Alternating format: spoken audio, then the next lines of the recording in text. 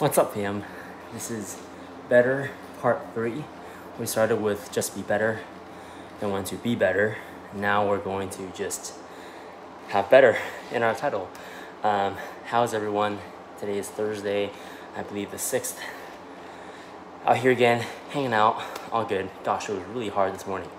Um, really hard to get up this morning, but I'm glad I did. Uh, which actually leads me into the talk for today from Romans chapter 7, I believe, chapter 7, talking about how we still do the things inside that we don't necessarily approve of.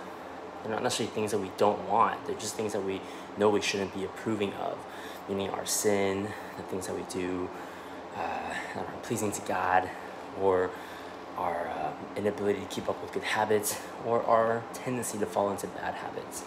And this is a good example of it, right?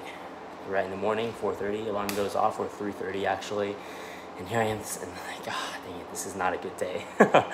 and I stayed in bed for a little bit longer, but I'm thankful, I'm glad I got out here today, because um, just goes to show what's inside of me is bigger than what's outside of me, right?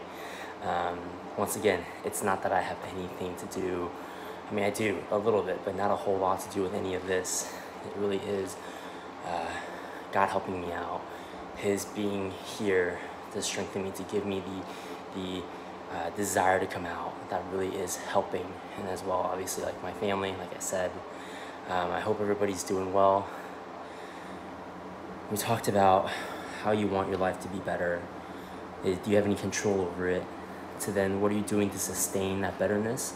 Just like my being here today is helping to sustain the decision or the life behavior choice change that I've made. Um, so tell me a little bit about that. Tell me what are some of those things you've decided to do in your life and how are you sustaining those and um, making it so that you're finding yourself continuing to be on those good habits, continuing to make those life changes. And then lastly, what I hope to hear from you is how has that been feeling, right? It's always good to make these behavior changes and life changes, but really if there's no inherent reward in it, we wouldn't be doing it.